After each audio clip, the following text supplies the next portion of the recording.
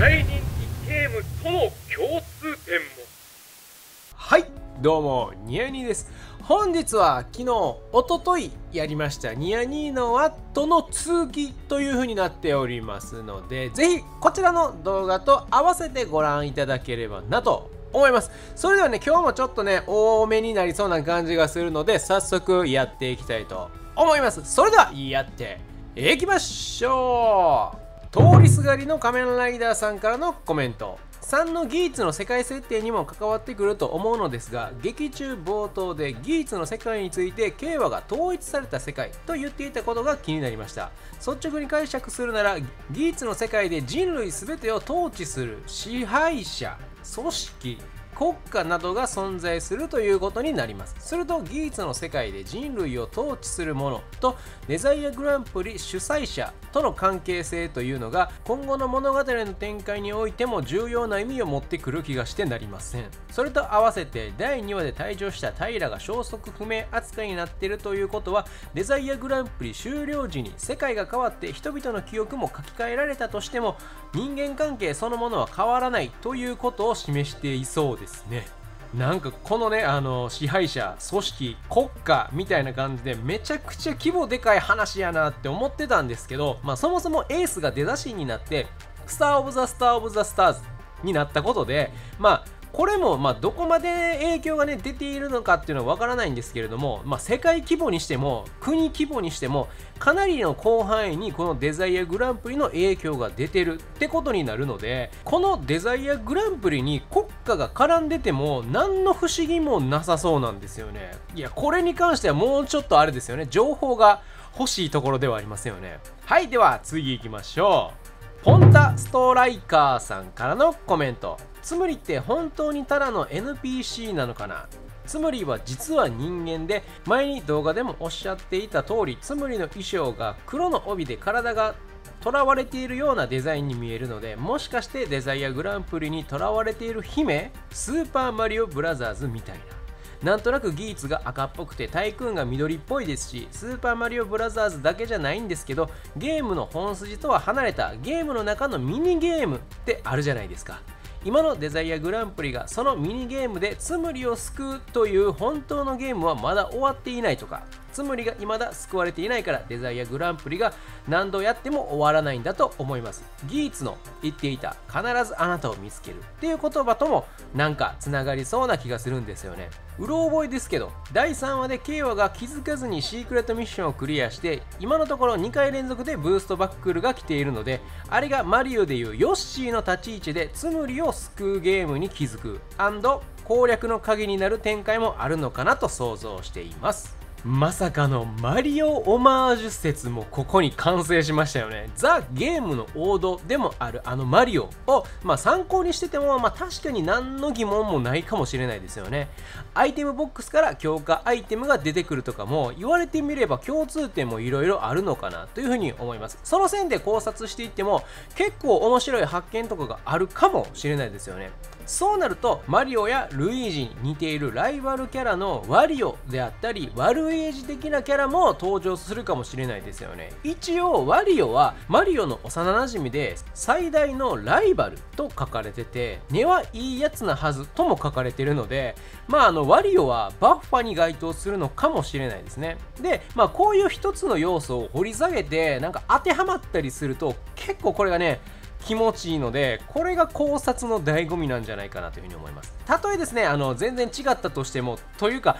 まああの違うことの方が多いんですけどそれもまあ楽しみの一つですよね。はいでは次行きましょう。さくら森子さんからのコメント。怪人が植物モチーフとなると確かに食物連鎖が根底にありそうですね。ただそうなるとライダーバトルが起こってしまいそうな気もします。キツネとタヌキは雑食。パンダも実は肉を食べるので雑食。え、牛と羊は草食。猫とペンギンと白クマは肉食。植物では生きていけない動物モチーフもいます。そうなると他のライダーを食べる必要があります。だから銀ペンや白は早々に退場してしまった。やはりナーゴも危ないとなってしまいます。ただモチーフはあくまでモチーフで描かれているものが植物と人間の関わりなら少し分かりやすいかなと。ID コアは別の人が使うことができない。そう考えるとコアの動物はその動物自体を表しているというより変身者の特徴を表すものだと感じました。例えばキツネは普段は肉食だけど獲物が減ると雑食に切り替えるという器用さを持っていて猫は現代では家猫として家で大事に飼われている猫が多い。構ってくれないと不安になってしまう。でも肉食の本質も持っている。どちらもエースとネオンっぽい。話を戻しますがまずは酸素は植物なしではありえない。そして人は自然を切り開き田畑を作って植物を収穫して生きています。畑から栄養を奪ってしまう雑草や虫を取り除き成長を助ける。自然の中には毒のある植物もありますし体を治す薬草もある。人と植物の関係って助け助けられ奪い奪われです。ではジャマトとは？となるとジャマトはバックルを持っていた時は助けられライダーが倒すのは奪うなんですよね。ライダーが倒されれば奪われる。ではジャマトを助けることは来るのか？それが退場してジャマトになった人たちを復活させることでしょうか？ゾンビの時だけのルールかもしれませんが過剰討伐が NG だったのは植物の過剰伐採につながるからなのでしょうか？そしてバックルは人間の進化につながる道具を意味しているのでは？何なんですかねこの安定感、まあ、安定感というかこの安心感。このはい次のさくらもりこさんって言った後の安心感がすごいなんかもう例えるならもう実家のような安心感がすごくあるんですよね。もうねあの何か付け加えたりとかはもう僕の方ではあの一切ございません。もうあのこれですよね。で今回はもう一回だけもりこさんが登場します。では次行きましょう。M さんからのコメント。実際競馬が脱落者の復活した世界を望んだことで復活という流れはありそうに思います。そして復活してめでたしめでたしだと思わせて前の他の方が予想していたように白や銀ペンの裏の顔が見え始めるとか。あと過去編をワンクール丸々使ってやるのも面白そうじゃないですか。第1話とは真逆でめちゃくちゃ動揺しているエースや道長が見られたり。それぞれのキャラクターが現在のような性格になるまでを描くのは楽しそう。いっそ冬映画は過去のゲームにリバイスが巻き込まれる形にして四郎さん大活躍会にしてくれんかな。過去編ね。これめちゃくちゃ見たいですよね。あの今回のこの第1話で見せてくれたエースの、まあ、一応初変身は、まあ、作品的には初変身やけどエース的に考えれば初変身ではなかったんですよね。本当のエース初変身見てみたいですよね。まあ過去編がねがっつりワンクール描くのは面白いかもしれないですね。でその話の中で見えてくるものも絶対にありそうなんですよね。なので過去編なら白もね何の問題なくあの活躍復活して活躍することもできそうなのでちょっとこれね言われてみて思いましたね。過去編ちょっと見てみたいです。はいでは次が最後です。さくらもりこさんからのコメント。わからなくなってしまうのですがシールドのようにゾンビバックルも複数存在することは可能でしたっけ？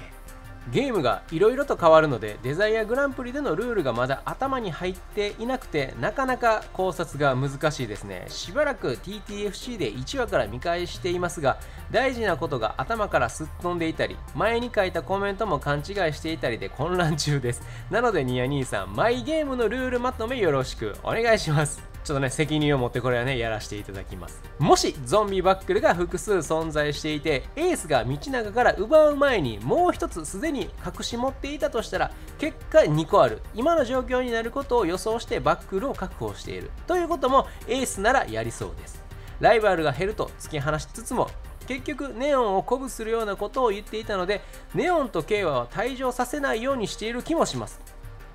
エースが慶和の子供説で行くならネオンがお母さんでしょうか今回は2人のために持っていたゾンビバックルをカナトに使うという流れになるから彼の存在もどうにかなりそう。あのタイプのキャラクター好きなのでもう少しでも残ってほしいです。カナトなら負の感情をそのままこじらせて心までゾンビ化して中ボス化なんていう残り方もできそうですがゾンビとブーストが合わさったらほぼ無敵状態になれそうですよね。確かにあの勝手に僕はですねバックルは1つしかないって思ってたんですけど第2話かな？エースと森尾がすでにシールドをねお互いが持っていたことからですねバックルは各1つしかないっていうことはなくて、まあ、逆に2個ある時点で複数あるって思ってた方が正しいのかもしれないですね。で、なおかつ未来が分かってそうなエースがもうすでにあの1個持ってて2個必要なのが分かっているからこそ、これまた未来が分かってて勝てると分かっているあの道長との対決もあのやったんじゃないかなっていうふうに思うんですよね。第4話でとりあえずネオンとカナトがゾンビにならなかったとしてもですねスコア最下位が退場っていうルールがあるから最下位が誰かっていうね問題も残ってるんですよねゾンビ化は免れたけど減点行為をめちゃくちゃやってしまったカナトが最下位って可能性が多分まあ一番高いんですけどそうなればここでカナトをゾンビ化から救う意味ってないように思うので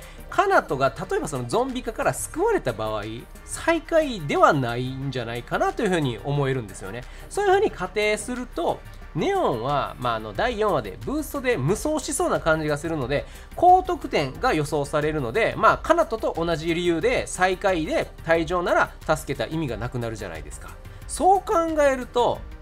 まさかの森おじさんが退場候補最有力ってことになりますよね。この最下位が脱落ってルールめちゃくちゃ怖くないですか？ということでですね今日はここまでにしておきましょうか。ちょっとですね今日もしかしたらこの後9時か10時ぐらいからちょっとねライブをしようかなというふうに計画をしております。お時間がありましたらぜひあの見に来ていただければなと思います。ではまた次の動画でお会いしましょう。ほな。おすすめに動画が流れてきたらチャンネル登録への片道切符だ。もう後戻りはできない。今日はちょっとね僕の性格についてちょっとお話ししたいところがあるんですけれども僕はちょっとですねあの天の弱というのか、まあ、素直じゃない部分があったりするのであのコメントの方であのぜひこれ採用お願いしますとか書かれるとあえてピックアップしたくなくなるんですよね。お気をつけください。